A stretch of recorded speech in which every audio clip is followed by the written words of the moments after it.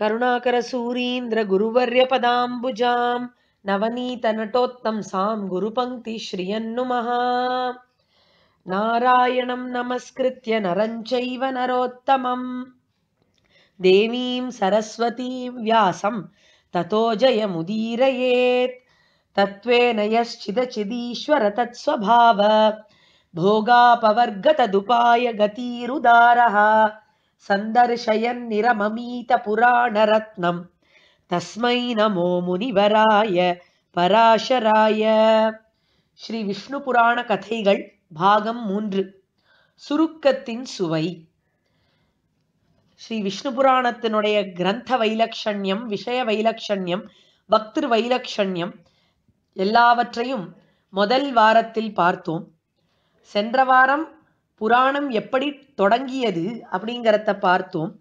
மைத்ரேய மகரிஷி தன்னுடைய ஆச்சாரியனான பராசர மகரிஷி கிட்டக்க மிகவும் பணிவோட வந்து சரணடைந்து சில கேள்விகள் கேட்டார். இவர் கேள்விகள் கேட்டவுடனே பராசர மகரிஷிக்கு தனக்கு கிடைச்ச ஒரு பெரிய அனுகிரகம் ஞாபகம் வந்துடுத்து. அந்த வரலாறை சொன்னார். பராசர மகரிஷியினுடைய சின்ன வயசுல அவருடைய தாத்தாவான வசிஷ்டரும் புலஸ்திய மகர்ஷியும் அவருக்கு ஆசீர்வாதம் பண்ணியிருக்கார்கள். அவர் ஒரு பெரிய புராணத்தை இயற்றுவார் அப்படின்னு. இந்த மைத்ரேயர் கேட்ட கேள்விகளுக்கு இவர் பதில் அளித்தால் அப்பேற்பட்ட ஒரு புராணம் பிறக்கும் அப்படின்னு தெரிஞ்சுண்டு கிருத்தஜதையோட இந்த வரலாறை நினைச்சு பார்த்து மைத்ரேயருக்கு சொல்றார். சொல்லிட்டு அவருடைய கேள்விகளுக்கு பதில் அளிக்க ஆரம்பிக்கிறார். மைத்ரேயர் கேட்ட கேள்விகள் என்ன? ஞாபகப்படுத்தி பார்ப்போம். ஆறு விதமான கேள்விகள் கேட்டார்னு பார்த்தோம்.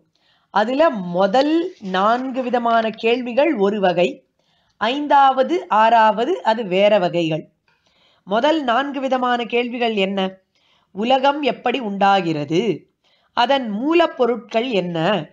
யாரிடமிருந்து உண்டாகிறது? யார்கிட்டக்க லயமாகிறது? இதெல்லாம் ஒன்றுத்துக்கு ஒன்று சம்பந்தப்பட்ட கேள்விகள் கனெக்ஷனோட வருது. எல்லாத்துக்கும் பதில் சேர்த்து தான் சொல்லணும். இப்படி நான்கு கேள்விகள். ஐந்தாவது கேள்வி தேவர்கள் மனுஷியர்கள் இவர்களுடைய சந்ததிகளை பற்றி சொல்லணும். அந்த வரலாறுகளை சொல்லணும்னு கேட்டிருக்கார். ஆறாவது கேள்வி வர்ணாசிரம தர்மங்களை எப்படி அனுஷ்டிக்கணும் அப்படின்னு கேட்டிருக்கார். இதுக்கு தனியாக பிறகு பதில் சொல்லுவார். முதல்ல இந்த நான்கு விதமான கேள்விகளை நாம் எப்படி அணுகுவது அப்படிங்கிறத சொல்லுவோம் அப்படின்னு நினைக்கிறார் மகரிஷி. இப்போ இந்த நாலு கேள்விகளுக்கு பதில் சொல்லணும்னா ரொம்ப விஸ்தாரமாக இருக்கும் அந்த பதில். விஸ்தாரமாக ஒரு கதையை சொல்கிறேன்னு ஆரம்பித்தா பொதுவாக ஜனங்கள் உட்கார மாட்டா. அவளுக்கு சுவாரஸ்யம் இருக்காது பெருசாக நீளமாக சொன்னோம்னா. அதனால் சுருக்கமாக சொல்லுவா பெரியவா. இதுக்கு ஒரு கதை சொல்கிறது வழக்கம். ஜனமேஜயன்னு ஒரு ராஜா இருந்தான் பரீட்சித்தினுடைய பிள்ளை. அவனுக்கு மகாபாரதம் சொல்லணும் அப்படின்னு ஆசைப்பட்டார் வைஷம்பாயனர். லட்சம் ஸ்லோகங்களுக்கு மேல இருக்கு. அப்பேற்பட்ட மகாபாரதத்தை சொல்றேன் உட்காரு அப்படின்னா ஜனமேஜயன் மாட்டேன்னுட்டான். எனக்கு அவகாசம் இல்லை பொழுது இல்லை அப்படின்னு சொல்லிவிட்டான். சரி போனா போறது ஒரே ஒரு பருவா சொல்றேன் கேளு அப்படின்னார். அதுக்கும் பொழுது இல்லைன்னு விட்டான் போனா போறது ஒரே ஒரு அத்தியாயம் சொல்றேன் கேளு அப்படிங்கிறார்.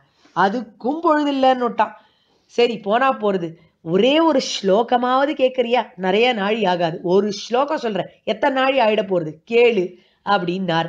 சரி பெரியவர் இவ்வளோ தூரம் கெஞ்சறாரே அப்படின்னு ஜனமேஜயன் ஒத்துண்டான். அழகா ஒரு ஸ்லோகத்தை சொன்னார் அவர். துவாவிமௌ புருஷௌ மூடௌ சுயோதன தசானனௌ கோகிரகம் வனபங்கம் ச திருஷ்டுவா யுத்தம் புனః அப்படிங்கிற ஸ்லோகம். என்ன சொல்றது இந்த ஸ்லோகம்? மூடர்கள் இருந்தார்கள் ரெண்டு பேரு. யாருன்னா சுயோதனன் அதாவது துரியோதனன் தசானனன் ராவணன். இவா ரெண்டு பேரும் பெரிய முட்டாள்கள் உலகத்துல அப்படின்னார். ஏன்? ஏன்னா ஒருத்தன் பார்த்தான் கோ கிரகணத்தும் பொழுது. அதாவது பசுக்களை ஓட்டிண்டு போன வரலாற்றின் பொழுது அர்ஜுனனுடைய பராக்கிரமத்தை ஒருத்தன் பார்த்தான். யார்? துரியோதனன். அதே போல வனபங்கம் அப்படிங்கிற வரலாறு அசோகவனத்தை அழித்த வரலாறுல ஹனுமானுடைய பிரதாபத்தை பார்த்தான் ராவணன். இந்த ரெண்டு பிரதாபங்களையும் பார்த்த பிறகும் இந்த எதிரிகளோட சண்டை போடணும்னு நினைச்சு திருப்பி திருப்பி யுத்தத்துக்கு போய் அழிஞ்சார்களே. ஐயோ பாவம் அப்படிங்கிறது இந்த ஸ்லோகம். இதை கேட்ட உடனே ஜனமேஜயனுக்கு ஆசை பிறந்து கொடுத்து யாரு சுயோதனன்? யாரு துரியோதனன்? யாரு தசானனன்? அப்படின்னு ஒரு ஒரு கேள்வியா மேல மேல கேட்க கடைசியில பூர்த்தியா மகாபாரதத்தை சொல்லிவிட்டார். பிறகு ராமாயணத்தையும் சொல்லி முடிச்சார். இந்த மாதிரி நடந்து வரலாறு. அப்படி சொல்லுவார்கள் பெரியவர்கள். சுவையா இருக்கும் சுருக்கமா சொன்னான் அந்த மாதிரி சுருக்கமா சொல்லிடுவா முதல்ல. அதுக்கு மேல நமக்கு ஆர்வம் பிறக்கும். அதை பத்தி இன்னும் நன்னா தெரிஞ்சுக்கணும் அப்படின்னு நாம்பளே ஆசையோட இருக்கும் பொழுது அப்ப அந்த விஷயத்தை கொடுத்தா அதை நம்மளால நன்னா ஜீரணிக்க முடியும் நன்னா ஏத்துக்க முடியும். இது நன்னா தெரியும் பெரியவர்களுக்கு. அதனால சின்னதா சுருக்கமா சுவையா சொல்லிடுவா பதில. பராசர மகரிஷியும் அப்படியே தான் சொன்னார். சுருக்கமா ரெண்டு ஸ்லோகங்கள்ல பதில் சொல்லிட்டார் என்ன சொன்னார்னா அவிகாராய சுத்தாய நித்யாய பரமாத்மனே சதைக ரூப ரூபாய விஷ்ணவே சர்வஜிஷ்ணவே நமோ ஹிரண்ய கர்ப்பாய ஹரயே சங்கராய ச வாசுதேவாய தாராய சர்க்கஸ்தித்யந்தகாரிணே. இந்த இதுல இருக்கிற முதல் ஸ்லோகம் ஸ்ரீ விஷ்ணு சகசிரநாமத்திலையும் இருக்கு. மணியான ஸ்லோகம். இந்த ஸ்லோகம் நித்யானுசந்தானத்தில் வரணும் அப்படிங்கறதுக்காகவே வியாச பகவான் தன்னுடைய தந்தையான பராசர மகரிஷி போட்ட ஸ்லோகத்தை அப்படியே எடுத்து வைக்கிறார் விஷ்ணு சகசிரநாமத்தில் என்ன சொல்றார் அப்படின்னு பார்த்தா இந்த உலகத்தை எம்பெருமான் பிரம்மாவை கொண்டு ருத்ரனை கொண்டு சிருஷ்டித்து சம்ஹரித்து வைக்கிறார் வாசுதேவனான பகவான். அப்பேற்பட்ட வாசுதேவனான விஷ்ணுவான பகவான் எப்படி இருக்கார்னா அவிகாராய சுத்தாய நித்யாய பரமாத்மனே சதைக ரூப ரூபாய விஷ்ணவே சர்வஜிஷ்ணவே அப்படிங்கிறார். அவிகாரனாக இருக்காராம் எம்பெருமான். இதை புரிஞ்சுக்கிறதுக்கு ஒரு உதாரணத்தை பார்ப்போம். இப்போ வெள்ளியில ஒரு கிண்ணம் செய்யறா அப்படின்னு வச்சுப்போம். வெள்ளியில ஒரு கிண்ணத்தை செய்யறானா அதுக்கு என்ன வேணும்? வெள்ளி வேணும். கிண்ணம் பண்றவன் வேணும். இந்த வெள்ளிக்கு உபாதான காரணம்னு பேர். மெட்டீரியல் காஸ் அதே மாதிரி பண்றவனுக்கு நிமித்த காரணம்னு பேர். மேனேஜரியல் காஸ் இந்த மாதிரி உபாதான காரணமாகவும் நிமித்த காரணமாகவும் எம்பெருமானே இருக்கான். எம்பெருமான் நாராயணன் தானே இந்த ஜகத்துக்கு இந்த உலகத்துக்கு மெட்டீரியல் காசாகவும் இருக்கான் மேனேஜரியல் காசாகவும் இருக்கான். அவனே தான் உலகமாக பிரதிபலிக்கிறான். அவனே உலகத்தை உண்டாக்குகிறான்.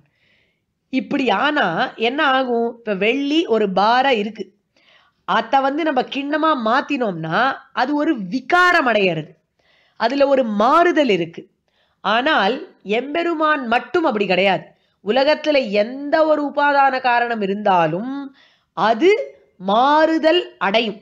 ஒரு விஷயமாக வேறு விஷயமாக மாறும் பொழுது அதுவே மாறுதல் அடையும். ஆனா எம்பெருமான் வாசுதேவன் மட்டும் அப்படி கிடையாது. அவன் மாறுதலே அடைய மாட்டான் விகாரமே அடைய மாட்டான். அதனால் அவனுக்கு அவிகாரன் அப்படின்னு பேரு. அவிகாராய அப்படிங்கிறார். அடுத்தது சுத்தாய. எம்பெருமானுக்கு அழுக்குகள் ஏதாவது ஒட்டுமோ? கிடையவே கிடையாது. அவனுக்கு ஹேய பிரத்யநீக்கன்னு ஒரு பெயர் உண்டு. அவன் எப்பொழுதுமே சுத்தமாகவே இருப்பான். எந்த விதமான செயல்கள் அவன் செஞ்சாலும் இந்த லீலா விபூதியிலே வந்து அவதாரங்கள் பண்ணினாலும் அவனுக்கு பாப்பங்களோ அழுக்கோ ஒட்டவே ஒட்டாது. அவன் சுத்தன். சுத்தாய அப்படின்னார். அதே போல அவன் நித்யன். எப்பொழுதும் இருக்கக்கூடியவன். அவனுக்கு அழிவே கிடையாது. உலகமெல்லாம் போய் அவன் கிட்டக்க லயமடையும் பொழுதும் அவன் அப்படியே தான் இருக்கான் நித்தியனா இருக்கான். நித்யாய இப்படி எல்லாம் ஒருவனால எப்படி இருக்க முடியும்? ஏன்னா அவன் பரமாத்மாப்பா. பரமாத்மனே அப்படின்னார். இந்த பரமாத்மா தான் ஏகரூபனாக இருந்துண்டு எல்லாரையும் ஜெயிக்கிறவனாக திகழ்கிறான். எல்லாருக்கும் மேலானவனாக திகழ்கிறான். சதைக ரூப ரூபாய விஷ்ணவே சர்வ ஜிஷ்ணவே அப்படின்னான். இப்படி எம்பெருமான் இருப்பதற்கு காரணம் அவன் வாசுதேவனாக இருக்கிறது. இப்ப வாசுதேவன் வாசுதேவன் அப்படின்னா நம்மளுக்கு என்ன புரியறது? வசுதேவ புத்திரன் வாசுதேவன் அப்படின்னு புரிஞ்சுக்கலாம். ஆனா வசுதேவ புத்திரனா கிருஷ்ணனா அவதாரம் பண்றதுக்கு முன்னாடியே நாராயணனுக்கு வாசுதேவன்னு பேர் உண்டு. ஏன்னா வாசுதேவனுக்கு வேற ஒரு பொருள் உண்டு.